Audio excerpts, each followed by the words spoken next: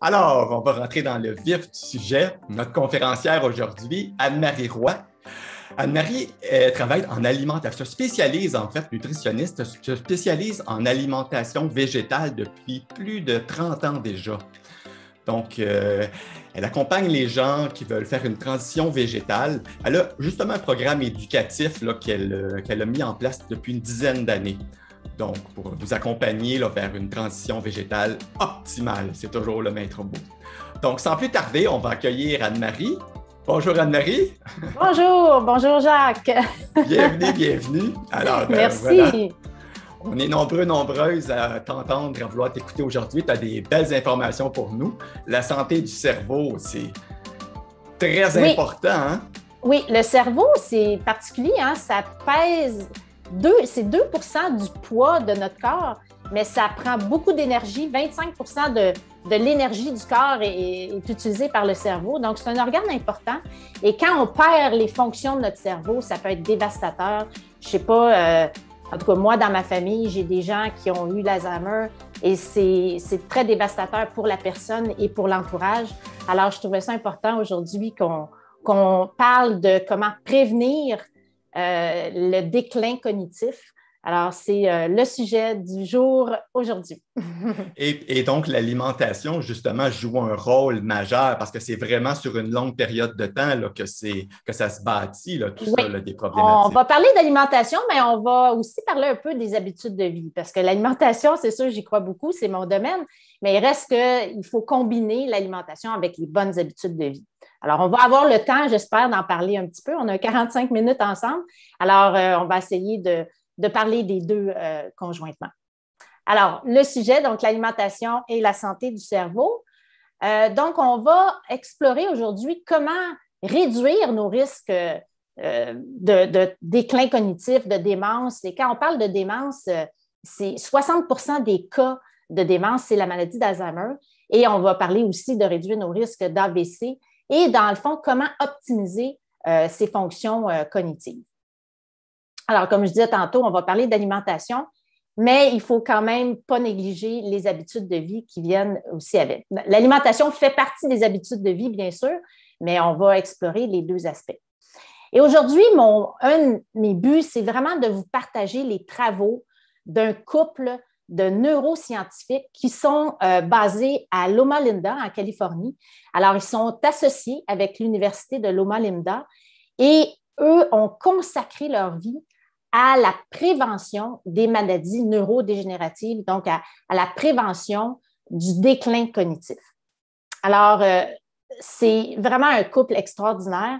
D'ailleurs, si vous écoutez des podcasts un peu américains, euh, tout le monde se les arrache. Euh, peu importe, moi, je suis abonnée à 10 podcasts américains faciles et ils sont interviewés toujours, constamment. Alors, c'est vraiment un couple très célèbre aux États-Unis qui parle vraiment de prévention du déclin cognitif. Ils ont écrit des livres, entre autres, vous voyez ici en haut à gauche, euh, The Alzheimer Solution. Et leur tout dernier, alors je vais vous montrer, je l'ai, il est tout neuf, tout neuf, tout beau.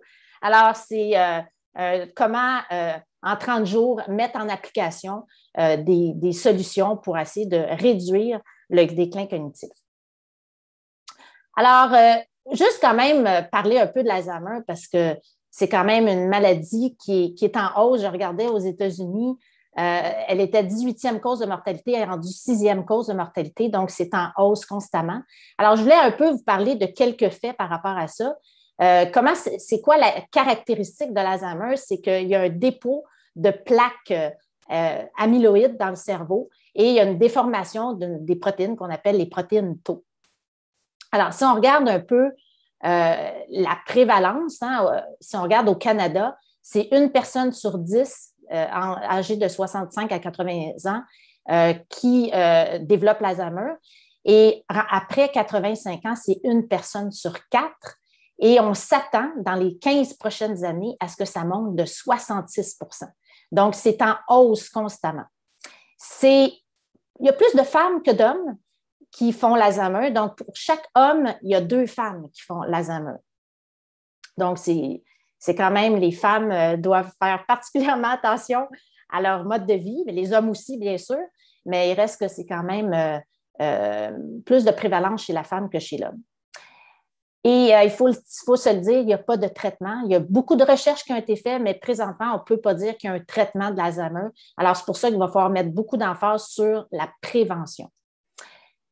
Au niveau de la génétique, c'est assez surprenant. Le couple que je vous ai parlé, dans le fond, je ne vous ai même pas nommé, c'est Aïcha et Dean euh, Surjai, alors euh, c'est eux qui, euh, ont fait beaucoup, beaucoup de recherches. Et eux nous disent qu'il y a seulement 3% des cas d'Alzheimer qui sont carrément génétiques, donc 3% qui sont inévitables, donc qui ont une cause génétique. Mais le restant, il peut avoir des prédispositions génétiques, mais il reste que les habitudes de vie sont l'élément majeur pour la, prévention de l'Alzheimer.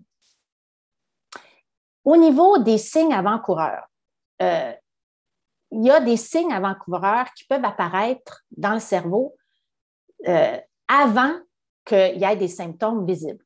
Alors, d'ailleurs, on avait une petite question sondage pour vous. Euh, selon vous, les signes avant-coureurs de la maladie d'Alzheimer peuvent commencer combien de temps avant les premiers symptômes? Alors, on vous invite à répondre. Est-ce que les signes avant-coureurs de la maladie, les plaques amyloïdes, euh, peuvent commencer à apparaître combien de temps avant les premiers symptômes de, déclin cognitif? Alors, euh, je ne sais pas si les gens votent bien. On a une bonne participation, ça s'accumule, donc euh, ça sera pas tellement long.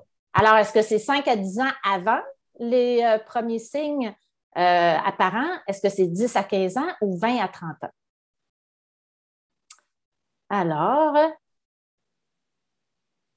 donc c'est quand même très varié, euh, mais la plupart pensent que c'est 10 à 15 ans. Alors, euh, si on regarde la réponse, en réalité, c'est 20 à 30 ans. Ça, c'est assez impressionnant. Ça veut dire que, oui, quand on commence à avoir un déclin cognitif, ben, les plaques amyloïdes ont commencé à se former dans le cerveau de 20 à 30 ans avant. Donc, pourquoi je vous dis ça? C'est parce que, dans le fond, euh, c'est d'où l'importance de faire de la prévention. Euh, c'est la même chose hein, pour le cancer. Quand on a un cancer qui est, euh, qui est avancé, souvent, ça a commencé plusieurs dizaines d'années avant. Donc, c'est un peu la même chose au niveau de la maladie d'Alzheimer. Alors, c'est là que ça devient important de prévenir. Il ne faut pas attendre d'avoir un symptôme pour commencer à, faire de la prévention. Il y a eu beaucoup de recherches qui ont été faites euh, au niveau de l'alimentation et il y a en 2015 euh, euh, des, chercheurs de l'Université Rush à Chicago qui ont développé un régime qui s'appelle le régime MIND, qui est un, genre d'hybride entre le régime méditerranéen et la diète DASH. La diète DASH est une diète pour aider les gens à réduire leur tension artérielle. Alors, on, ils, ont, développé ça et le but, c'était de créer une diète qui permet de réduire le déclin cognitif.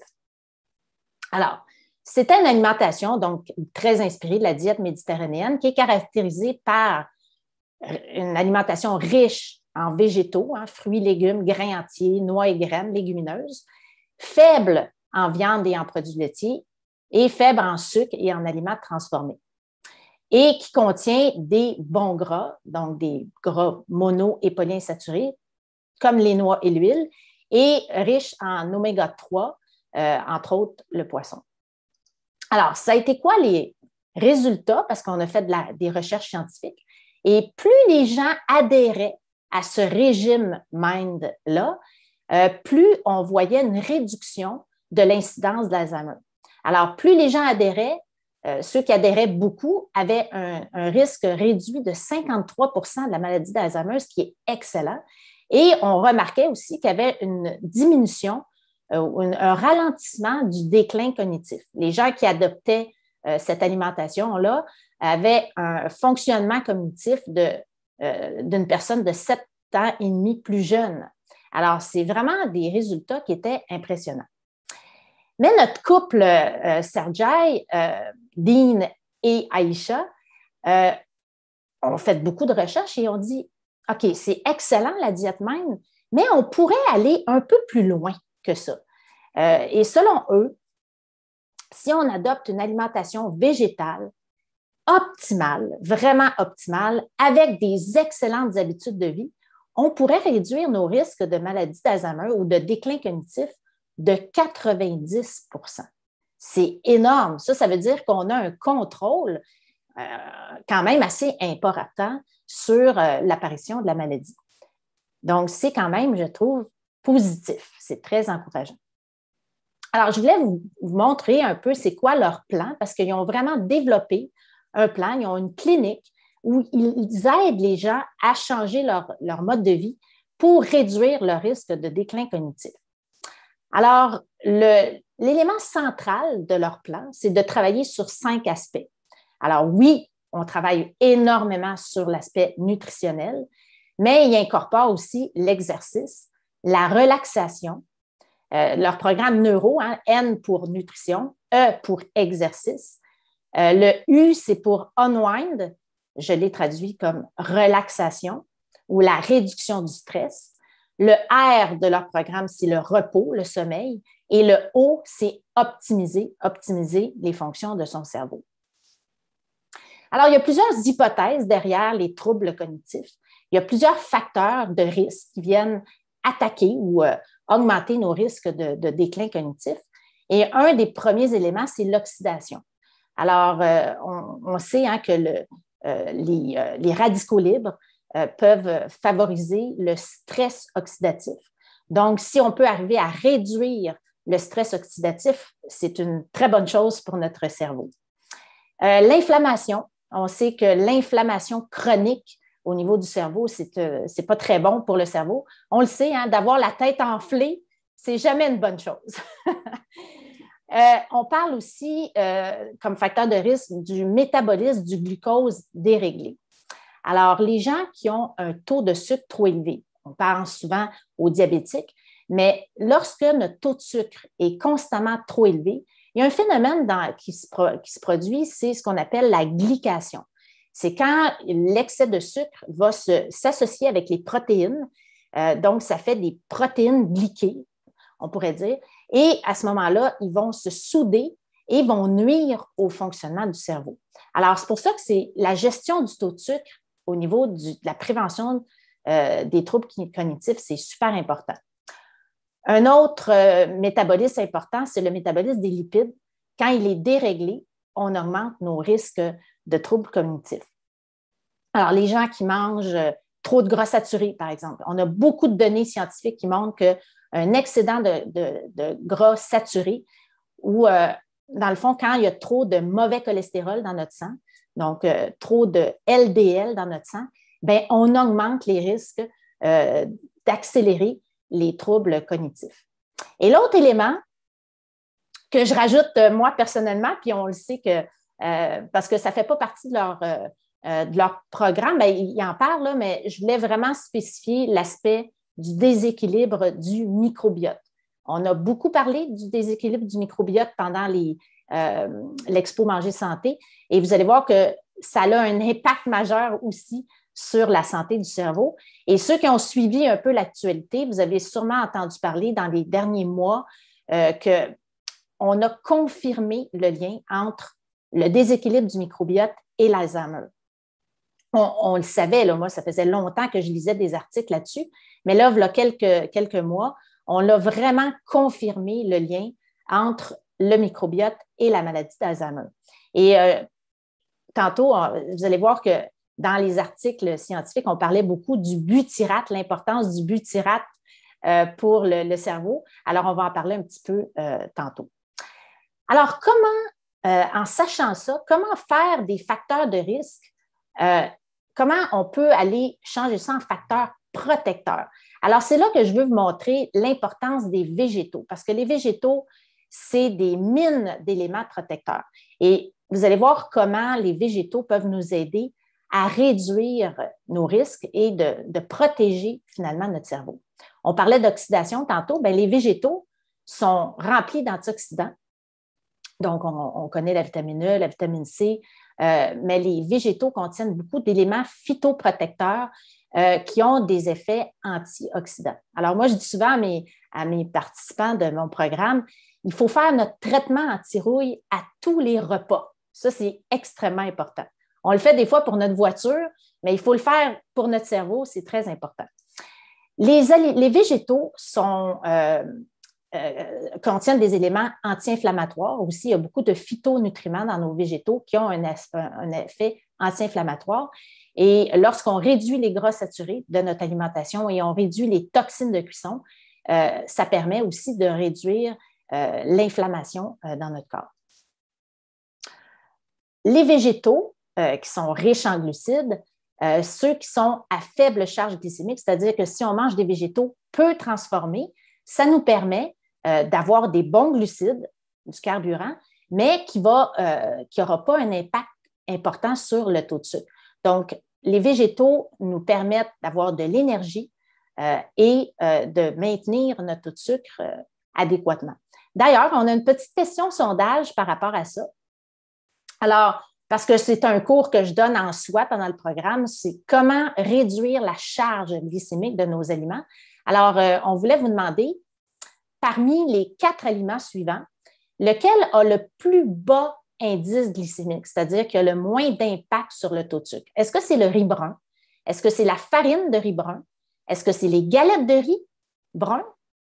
Ou peu importe, ils sont tous équivalents, ils ont tous à peu près la même charge ou le même indice glycémique. Alors, euh, on passe au vote.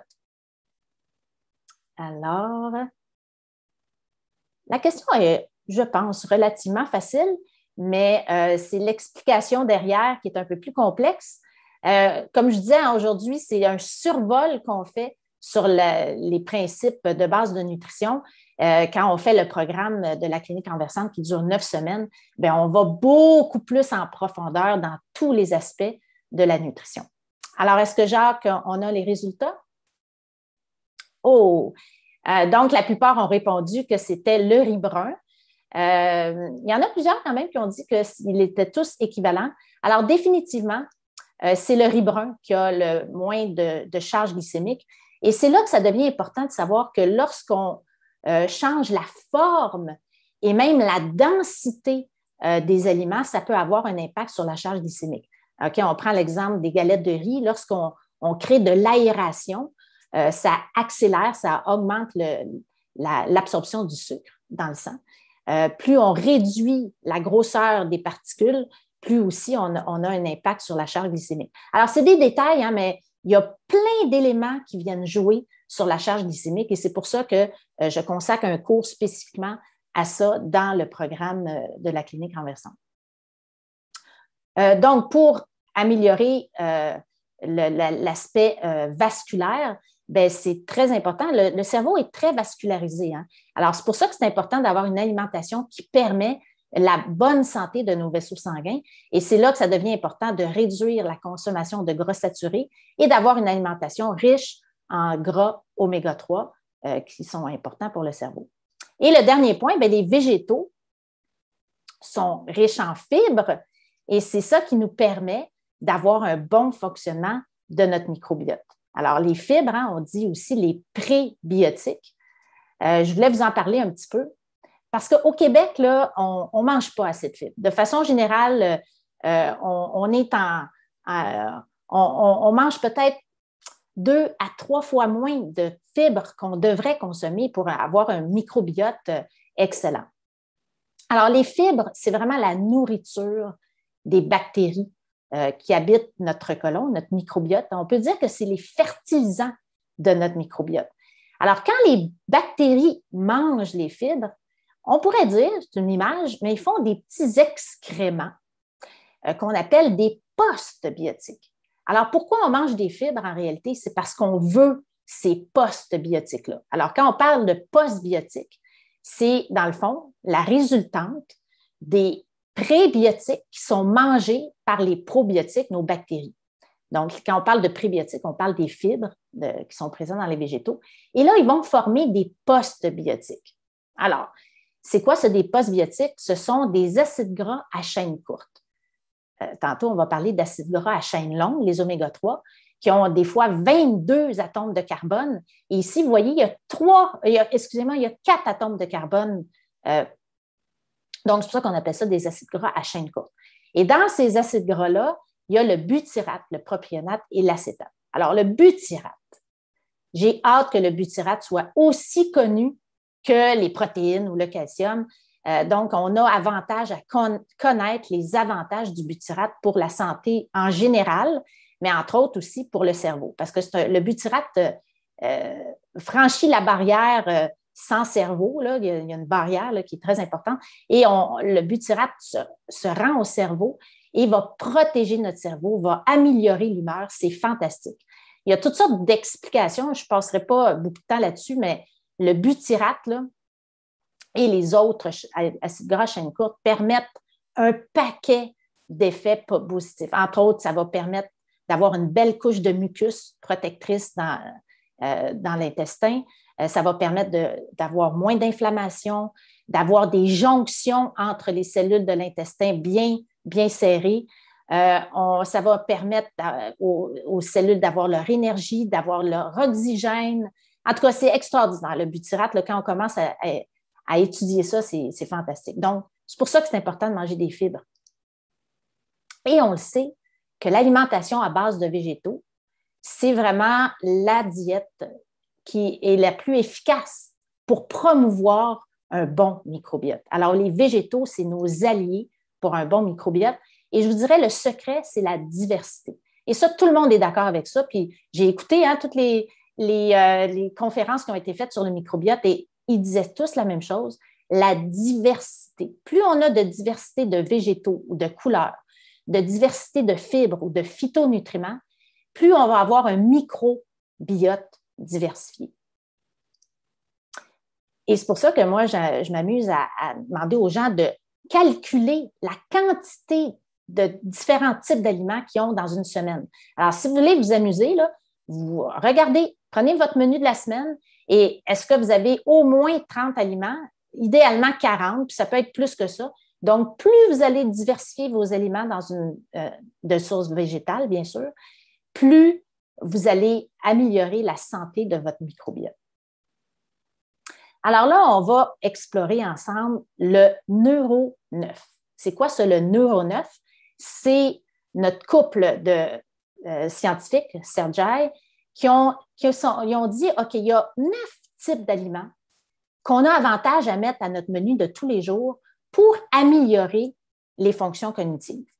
Alors, il y a toutes sortes de raisons pourquoi que ça, améliore, mais juste vous dire que les aliments, les neuf types d'aliments, on les inclut régulièrement tous les jours pour soit améliorer notre mémoire, soit pour réduire le déclin cognitif, réduire nos risques de démence, dont la maladie d'Alzheimer, ou de réduire aussi les risques, euh, excusez-moi, il manque un S, d'AVC. Désolé.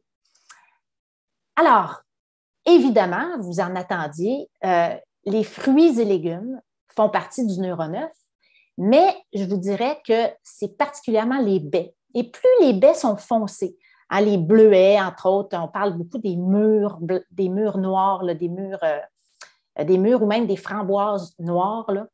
Euh, les, les, baies ont vraiment été étudiées et c'est vraiment les fruits les plus extraordinaires pour notre cerveau. Le raisin aussi, le resveratrol dans les raisins aussi ont des euh, vertus intéressantes pour le cerveau.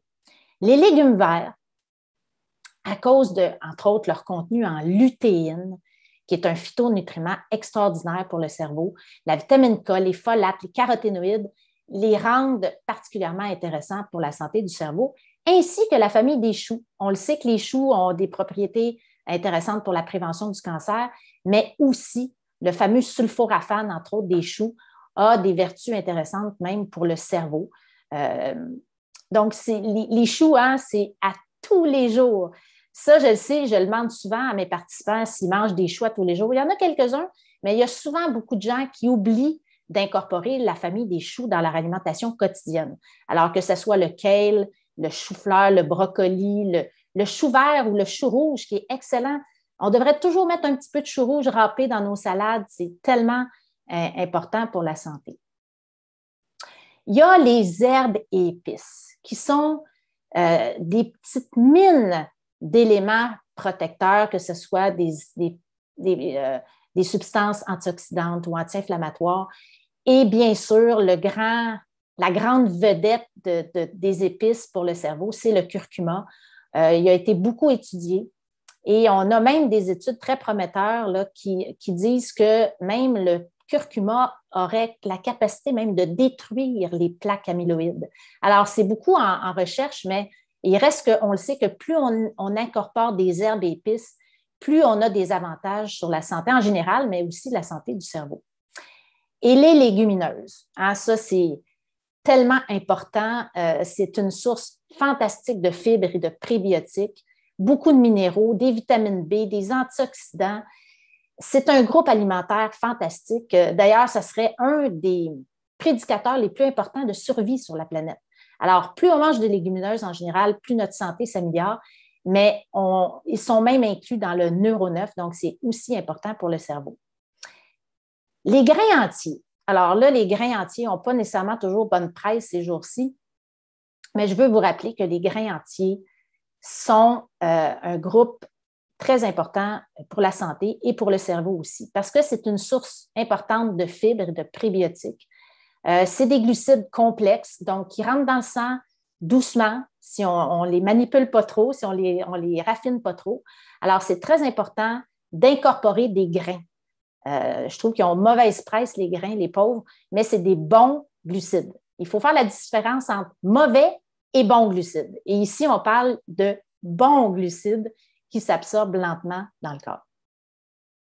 Les noix et graines aussi, euh, font partie du neuroneuf euh, parce qu'ils ont un contenu en antioxydants important.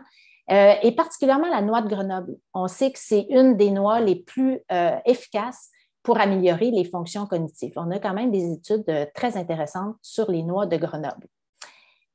Et on spécifie les graines riches en oméga 3, dont la graine de lin, la graine de chia, la graine de chanvre. c'est des, des, graines qui sont très riches en oméga 3. Et ça m'amène un petit peu à vous parler des fameux oméga 3 qui sont importants pour le cerveau. Alors, euh, les oméga 3 que dans la graine de lin, c'est des acides gras, euh, des oméga 3 à chaîne courte. Mais les oméga 3 qui sont importants pour le cerveau, c'est les oméga 3 à chaîne longue, hein, les fameux oméga 3 qu'on retrouve dans le poisson, dans la diète méditerranéenne. Alors, je veux vous dire que les oméga 3 à chaîne courte peuvent se convertir par notre corps en oméga 3 à chaîne longue. Bon, le taux de conversion est quand même on dit de 0 à 9% à peu près.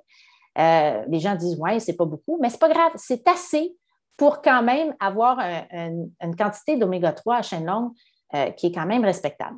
Par contre, on commence à avoir des données qui disent qu'il y a certains groupes de personnes qui ont avantage peut-être à manger, à incorporer des acides gras à chaîne longue directement convertis. Les femmes enceintes, par exemple, les personnes vieillissantes ou les gens qui ont beaucoup de facteurs de risque euh, génétique euh, pour le déclin cognitif aurait peut-être avantage à euh, consommer des oméga 3 à chaîne longue déjà convertis. Je voulais juste vous dire avant de passer à ma prochaine acétate qu'un des éléments qui bloque la conversion des chaînes courtes en chaîne longue, c'est, il y a plein, plein de facteurs. Hein. On explore ça beaucoup dans mon programme, mais un des facteurs reconnus, puis on en a parlé même pendant l'expo, euh, quand il y a trop d'oméga 6 par rapport aux oméga 3, on bloque la conversion. Alors, il y a beaucoup de choses à savoir sur ce fameux ratio-là. J'explore ça beaucoup dans le programme, mais euh, je vous dirais que les aliments transformés euh, qui contiennent des huiles de pauvre qualité, on pourrait dire, vont venir bloquer cette conversion-là. Alors, est-ce que on doit nécessairement manger du poisson pour avoir nos oméga 3 à chaîne longue déjà convertis? Eh bien non. En réalité, ce n'est pas les poissons qui produisent les oméga 3 à chaîne longue qu'on appelle le DHA et le EPA. Ce sont plutôt les algues microscopiques qu'on retrouve euh, dans, les océans. Alors, c'est eux qui forment les oméga 3 et parce que les poissons mangent les algues, ben, ils se trouvent à avoir des oméga 3. Alors maintenant, l'industrie prend les algues microscopiques les font proliférer dans des eaux, dans l'eau, euh, dans l'eau propre, et vont extraire les oméga 3. Fait qu'il y a possibilité aujourd'hui d'avoir euh, sur le marché des, huiles euh, à base d'algues microscopiques, donc qui sont moins contaminées que, que les, le gras des, poissons, et c'est beaucoup plus écologique en même temps, pas besoin de faire de surpêche. Le neuvième neuroneuf, c'est les boissons comme le thé, le café. Oui, le café, j'en ai un justement que je prends régulièrement. Euh, on sait qu'il y a des vertus intéressantes. Et j'ai rajouté aussi le cacao parce qu'on le voit souvent, le cacao est un autre élément. Donc, moi, à tous les jours, je prends un chocolat chaud aussi, avec en plus d'un café. Euh, donc, euh, c'est des breuvages qui sont intéressants pour plusieurs raisons, beaucoup d'antioxydants et des substances protectrices pour le cerveau. Un autre élément qu'il faut absolument rajouter, on ne l'a pas rajouté dans le neuroneuf parce que ce n'est pas un aliment, mais c'est l'eau. Hein, l'importance de boire de l'eau, de s'hydrater parce qu'on le sait que euh, l'eau est fondamentale pour le fonctionnement du cerveau. Et une très petite déshydratation, euh, déjà, on voit une altération des fonctions euh, cognitives. On peut, quand on est déshydraté, on risque plus d'être fatigué, d'avoir de la confusion et même le cerveau rapetisserait, imaginez. Donc, on boit de l'eau régulièrement dans la journée. Est-ce qu'il y a un moment particulier qu'on devrait manger? Ça, on commence à. Moi, c'est un aspect que je trouve tellement important. On parle beaucoup hein, du, euh, du jeûne intermittent et tout ça. Mais je peux vous dire, euh, ce qu'on entend beaucoup, le fameux time restricted eating, c'est qu'on essaye dans une journée d'être 10 à 12 heures à jeûne. Ça, c'est-à-dire que mettons, on se lève à 8 heures le matin, on peut manger jusqu'à 8 heures le soir. Donc, ça nous permet, pendant, la, nuit, d'avoir une période de jeûne, donc un minimum de 12 heures de jeûne, un minimum de 12 heures de jeûne. Et il semblerait que ça a beaucoup de vertus. On n'entrera pas beaucoup dans le sujet, ça sera un cours en soi, mais ça, c'est un élément intéressant. On en parle de plus en plus d'avoir une période de jeûne dans sa journée pour euh, aider au bon fonctionnement du cerveau et de réduire nos risques de maladies chroniques. Bon, ben, je vais avoir le temps de vous parler un petit peu euh, des, aspects autres que l'alimentation. Dans le neuro, il y avait E qui était l'exercice. Alors, je vous dirais que l'exercice est extrêmement important pour optimiser les fonctions du cerveau. Alors, quand on fait de l'exercice, ça génère des nouvelles connexions neuronales. Et c'est par la formation du BDNF. Ça, c'est une protéine euh, qui aiderait la croissance des neurones. Et l'exercice permet aussi d'améliorer le réseau vasculaire qui amène l'oxygène. Donc, l'exercice, là, c'est tellement important. Et il y a des études qui ont montré qu'une marche rapide, surtout le matin, ça peut être n'importe quand dans la journée, mais surtout le matin, ce qu'on appelle en anglais un brisk walk, hein, une marche rapide même on devrait commencer notre journée comme ça, dehors, avec la lumière du, euh, du, jour. Ça réduirait de 40% les risques d'Alzheimer. Alors, c'est vraiment fantastique. Et qu'est-ce qu'on doit faire comme exercice? Oui, l'exercice aérobie, hein, il faut quand même euh, activer les battements de cœur, mais on parle de plus en plus de, faire des, exercices de renforcement musculaire plus on est musclé, dans le fond, même les muscles des jambes, hein, on sait que plus les muscles des jambes euh, sont forts, euh, plus on réduit euh, le déclin cognitif et de faire ça de façon régulière. Moi, je vais vous avouer que ce n'est pas quelque chose que j'aime, faire du renforcement musculaire, mais à force de lire là-dessus, puis là, en, en, lisant beaucoup sur la santé du cerveau, j'ai commencé à en faire un peu. Je ne sais pas si vous avez remarqué, je suis un peu musclée. Alors, l'exercice, hein, c'est un élément extrêmement important à rajouter dans notre mode de vie. Le U, unwind, c'est la relaxation. On sait que le stress est extrêmement dommageable pour euh, le microbiote euh, et donc évidemment pour notre cerveau. Mais euh, le couple Sergei disent que ce qui est important, c'est de réduire le mauvais stress, mais d'augmenter le bon stress. Ça, on pourrait rentrer beaucoup là-dedans. Euh, un exemple de faire la conférence aujourd'hui, pour moi, c'était un bon stress. des stress, des bons stress, c'est des choses qui nous permettent de, de, progresser dans la vie, donc euh, euh, d'atteindre nos objectifs. Et l'attention, ça aussi, on en parle énormément avec toutes les distractions de nos jours. Des fois, on perd le focus, hein, l'attention, et de faire de la méditation régulièrement, justement, ça nous permet d'être plus capable de, porter attention à ce qu'on fait. Et ça, c'est un élément important. Le R de neuro, c'est restaurer ou le repos. On parle ici du sommeil. Et euh, je pourrais vous dire qu'on s'entend pas mal tout le temps pour dire que c'est 7 à 8 heures de sommeil euh, qu'on doit avoir à chaque jour. Et euh, moi, pour avoir lu beaucoup sur la santé du cerveau, c'est là que j'ai découvert l'importance des cellules gliales, ce qu'on appelle nos cellules d'entretien du cerveau. Alors, je vous ai mis une belle image ici d'une cellule gliale. J'ai trouvé tellement jolie. je voulais vous les montrer. Alors, je vous présente nos cellules gliales qui sont très actives pendant qu'on dort. Alors, qu'est-ce qu'ils font, eux autres? C'est des cellules gliales. Bien, ils font le ménage des informations qu'on a recueillies pendant la journée. Ils vont les classifier, les consolider, puis ils vont nettoyer, ils vont nettoyer ils les déchets, puis les connexions neuronales inutiles, ils les, les enlèvent. Alors, il y a beaucoup, beaucoup de fonctions à ces cellules-là.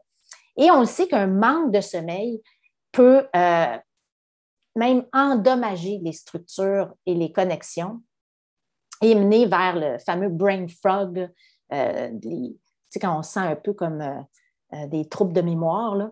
Alors, très important, le sommeil, c'est un élément fondamental à la santé du cerveau.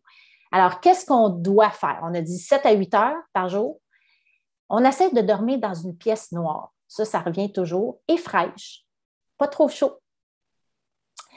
Euh, éviter la fameuse lumière bleue, là, les écrans avant de se coucher et d'avoir un horaire régulier. Et idéalement, on l'a dit tantôt, euh, être en période de jeûne 12 heures, mais surtout ne pas manger 2 à 3 heures avant de se coucher. Ce n'est pas toujours facile, mais c'est un élément important. Et le haut de neuro, qui est un élément hyper important aussi, c'est euh, d'optimiser son cerveau, de rester intellectuellement stimulé. Alors, il y a trois éléments qui, rentrent en ligne de compte. Ici, c'est la complexité. Plus vous allez donner des tâches à votre cerveau qui sont complexes, plus euh, vous allez optimiser votre cerveau. On parle souvent d'apprendre une langue. Ça, ça revient constamment. Apprendre à jouer un instrument de musique. Euh, on parle aussi beaucoup euh, d'être en communauté. C'est donc, d'être en contact avec, avoir une belle communauté autour de nous, sociale. Et ça, on sait que ça a des vertus importantes pour le cerveau.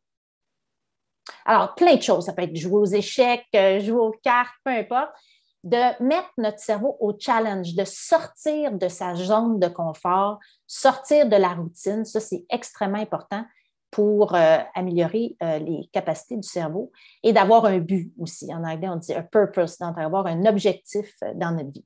Alors ça, c'est très intéressant. de, la lecture, j'ai lu aussi que c'était très important de lire justement pour garder notre cerveau en santé on disait, bon, j'aime bien l'idée, mais il y a Mme Brisson qui dit Sérieux, du chocolat chaud, youpi, j'adore l'idée, mais comment le préparer pour qu'il soit santé? J'imagine ah. qu'il faut le faire sans lait de vache ou. Euh? Ben, c'est sûr que si vous voulez minimiser un peu les quantités de gras saturés, il faut y aller avec une boisson végétale. Mais moi, c'est, je prends du cacao là, que je dilue dans de l'eau bouillante. Euh, et euh, je mets un peu de boisson végétale et on peut le sucrer avec. Euh, euh, on a, il y a eu une conférence sur, euh, de Mme Labrisque avec la purée de date. Et même, on pourrait mettre un petit peu de purée de date dans notre chocolat chaud pour le sucrer. Donc, oui, un bon chocolat chaud tous les jours. moi, c'est ma consolance. Souvent, je travaille avec mon petit chocolat chaud, puis ça me permet de, d'avoir une belle qualité de vie. Et ça me souffle le bec. Euh, il y en a qui ont posé des questions sur l'huile de coco. Euh, c'est un gros débat, hein. mais je veux juste vous dire que l'huile de coco, malheureusement, est un aliment très riche en gras saturés. Euh, j'utilise le coco, moi, de façon générale dans nos recettes, mais l'huile de coco, parce que c'est un contenu assez important en gras saturés, malheureusement, je le considère ben, pas moi, là, mais les études démontrent que ce n'est pas un bon gras. Ben, bravo Anne-Marie, ça fut fort instructif, une belle mine d'informations. Merci beaucoup. Alors, ben, merci euh, à vous d'avoir organisé ça. dans le fond, bravo d'avoir mis tout ça en, web et on a bien hâte à ce que l'expo revienne en présentiel, peut-être l'année prochaine, on espère. Tout à fait. merci beaucoup, Anne-Marie. Bonne fin de journée. Joyeux printemps et au plaisir. Merci. Merci à tous. Prenez soin de votre cerveau.